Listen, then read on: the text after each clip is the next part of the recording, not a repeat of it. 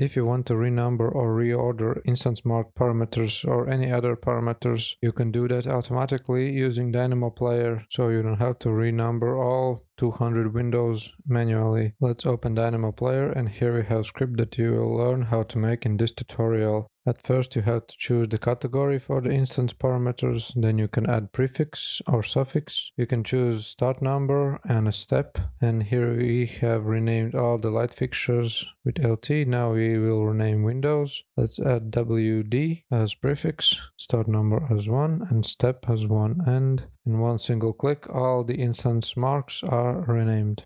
So let's open Dynamo And let's click on new file. First we have to pick a categories node. Let's pick a Windows category, but you can change that later anytime.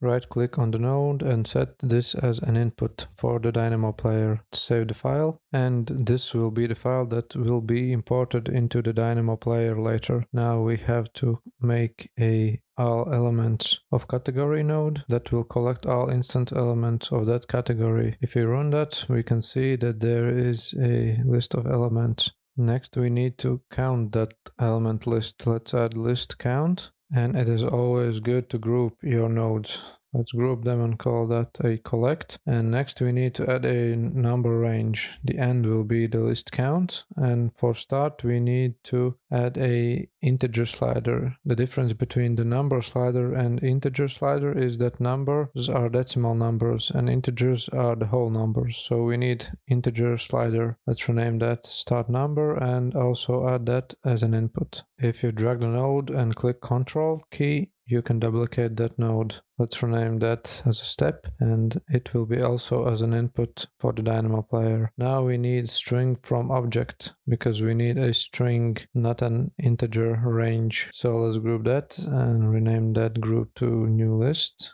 And next we need a string node and the string node will contain a name for a parameter that we will gather from these instance elements and the parameter name is mark because we want to set the values for the mark parameter for all the window instances in the Revit file. Next we need a node called element set parameter by name. Let's connect elements to elements, parameter name to parameter name and value to the string from object. Let's add a watch node node and right click set this as an output to the Dynamo player. And you can see the list of all the window instances that has been affected by this node. And let's group that and rename make changes return results. And if you don't want prefix or suffix basically it's done. It's already updating the mark values. And if you want add prefix or suffix we need to add string insert node connect string from object to string and for the index we'll add zero because we want a prefix. Then we'll add a string node that's gonna be our prefix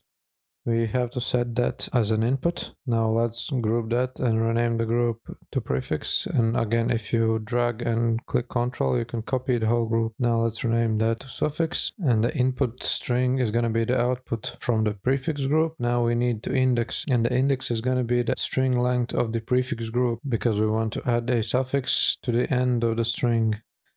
Let's rename that to prefix. And this one is going to be suffix. And these both are going to be the inputs into the Dynamo player. And lastly, we need to connect the output from the suffix group to the value of the set parameter by name node and we can clean up the node layout by right clicking on the group and picking clean up node layout. And at the end you can click on the extensions menu and pick show graph properties. And there you can add a description and an image author name for all that information to show up in the dynamo player. You can add an image.